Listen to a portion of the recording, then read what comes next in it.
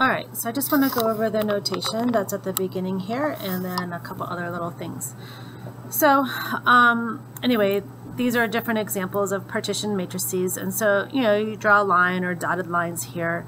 Um, you insert, you know, little rules in there and to break them up. All right, so for example, down below, here's uh, three different possible partitions of a 3 by 4 matrix, right?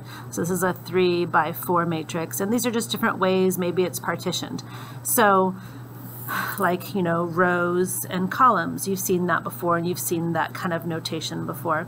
Um, maybe though it's broken up here. So then you have a whole new matrix. You have a matrix in the first row and first column of your partition matrix. You have a matrix in the first row, second column, and so forth. And so if you know that your, your matrix is partitioned, basically these names then mean to find that area that that matrix. So if somebody gives you a matrix and they say this is A and then you see that it's partitioned if somebody asks you for A1 3 that means first row third column. So that is the matrix 6 4 and then that by itself is you know like a 2 by 1 matrix right okay what are the dimensions of A22 so second row, second column. So A22 is um, the matrix 3, 1. And so you would say, oh, well, the, the dimensions of that thing are a um, one row, two columns, so this is a 1 by 2 matrix. Okay, so just noting that this is like a little bit different than you've seen before. Okay, so when you have partition matrices, if you are going to multiply by a scalar, well then all the numbers in the matrix get multiplied by that scalar, right? So if you're going to do like, you know, 5 times A, well, multiply everything by 5 and that's it. Now, if you are going to add them, they have to be lined up well, like, um, or the sizes have to work.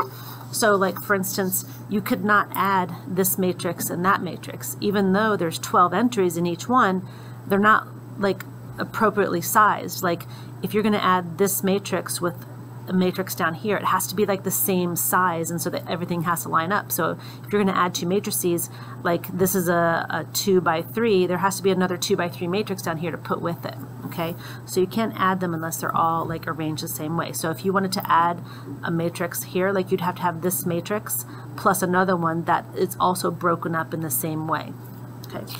Right, now multiplying matrices, we did that in class, and so I'm going to show you um, that example in the back at the on the back at the end. And so when they say um, A and B are partitions are conformable for block multiplication. So that just means that everything is sized appropriately and um, everything's going okay. So I'll show you how to do this matrix multiplication again at the end of the video in case like you needed that again.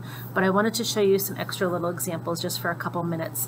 Um, and we'll do these, a uh, couple of these like for a warm up next time. So I'll make you do it that way.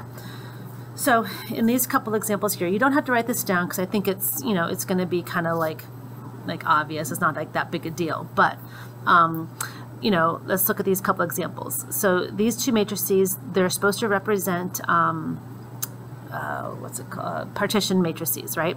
So it doesn't matter what size E is or, or zero, this is zero matrix, or A is or B is, but let, let yourself know that they are partitioned conformably, so it works, okay? And also you see you have a two by two times a two by two, all right? So anyway, these are partition matrices, and um, I guess you could say the partitions are, are like, you know, right in the middle here, but don't worry about that. All right, so if I'm going to do this, anytime you see 0, that's a 0 matrix. When you see the letter I, that's your identity. All right, so let's take a look at what's happening here. So basically, I would be saying, I'd be having my answer over here. I would say, oh, um, E0 and AC, that would be E times A, and 0 times C. So in this first right spot right here, I'd have E times A plus 0 times C.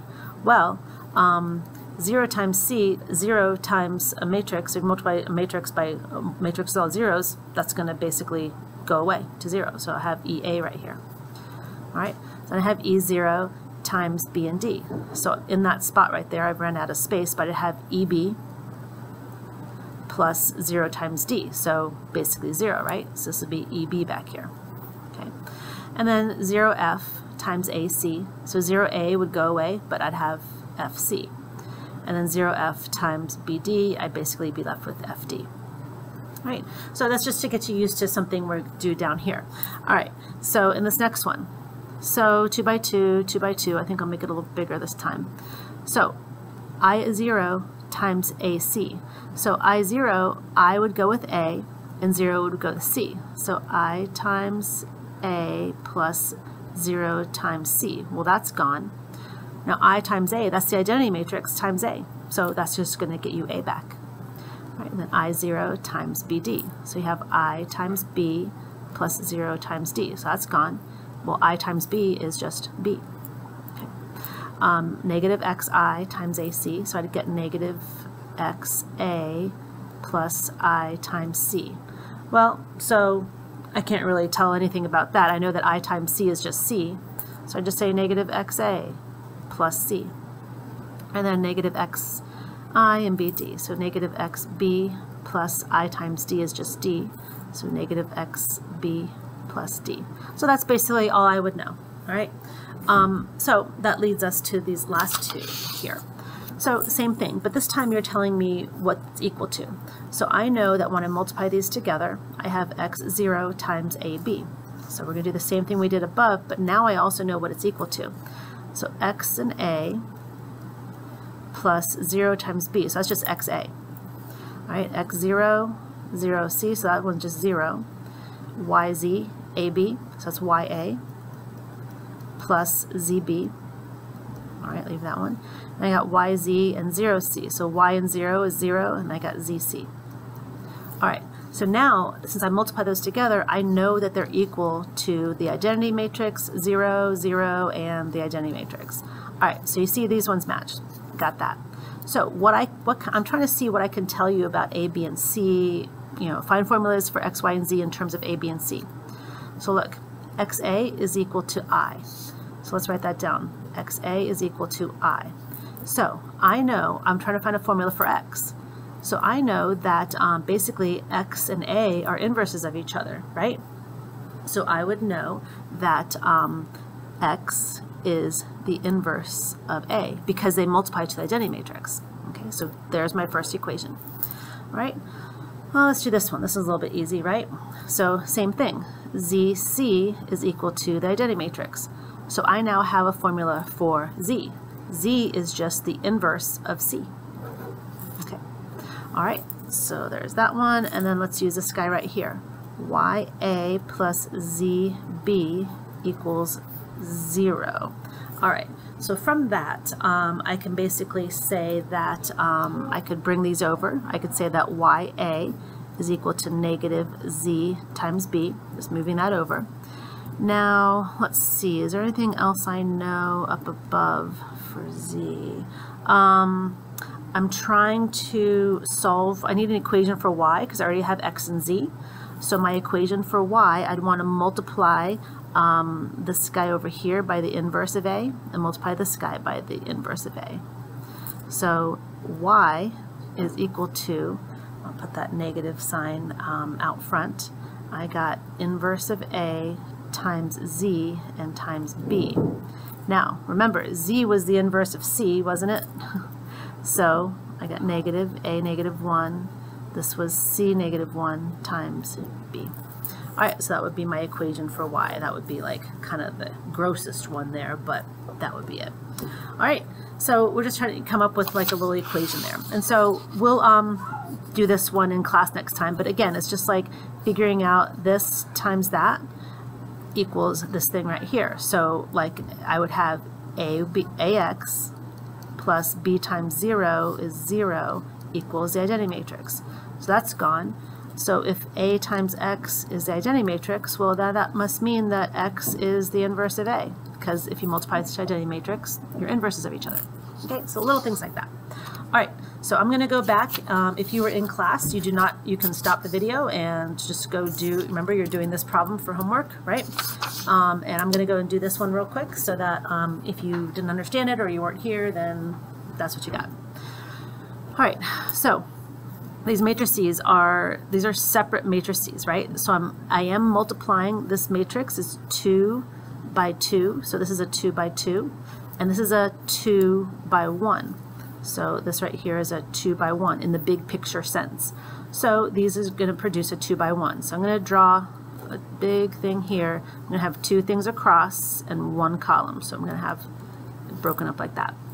All right, so now when we do this, I'm going to multiply these matrices by those matrices. Then I'm going to multiply these matrices by these matrices. Okay, so we're going to number them or letter them A, B, C, and D, and then this will be E and F. So I'll be multiplying AB times EF and then adding them together. So what's going to be in the top spot over here is AB times EF. So A times E plus B times F. A times E plus B times F. Yeah. All right, and then I'm out of, I don't have any more, so I'm going to go down to the second row. Second row, first column, so right down here, I have CD and EF. So CE plus DF. And so this is how your partition is going to go. And so basically what you want to do is over on the side, find these things. So AE. Well, AE, let's see. That's A times this. This is a 2 by 3 times a 3 by 2. So I know it's going to be a 2 by 2. So let's do it. 1, 2, 3, multiplying by negative 1, 3, 0. So it's going to be negative 1, 6, and nothing. So 5. Then I got 1, 2, 3 times negative 2, 4, 6. This is going to be negative 2, 8, and 18. So 6 and 18 is 24. All right, then I'm to got 2, 4, 1 times negative 1, 3, 0. So negative 2 and 12, that's 10. And 2, 4, 1 times negative 2, 4, 6. So negative 4, 16. So that's 12 plus 6, so 18. Now I want to find BF. Now remember, they have to be the same size, because look, B and F, 2 by 2, 2 by 2, so hey, guess what? It's a 2 by 2, because I got to add these together for my answer. All right, so negative 1, 0 and 1, 2 gets me negative 1. Negative 1, 0 times 0, 3 gets me 0. Negative 2, 3 times here gets me negative 2 and 6. And negative 2, 3 times here gets me negative 9. All right, so add these together. So I get um, 4 24, uh, 14, and 9. So there's my answer up here. 4, 24, 14, and 9. Okay, so now I have to do CE plus DF. So CE, let's take a look at that. So C is a 1 by 3, E is a 3 by 2. So my answer is a 1 by 2. So one row and two columns, so just two spots. So 0, 5, 2 times negative 1, 3, 0. So 0, 15, 0.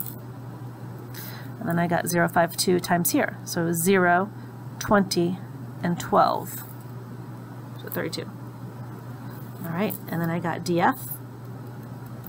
So here times here. So 1, 0 times 1, 2 is 1. 1, 0 times 0, negative 3 is 0. So I have to add these. So I get 16 and 32. So that's down here. Okay, so in case you need a refresher on that. All right, I'll see you in class. Bye-bye.